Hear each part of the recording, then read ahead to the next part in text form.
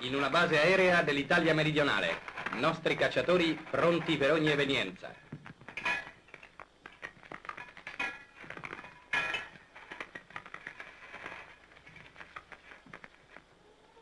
Si segnala la presenza di ricognitori nemici nella zona.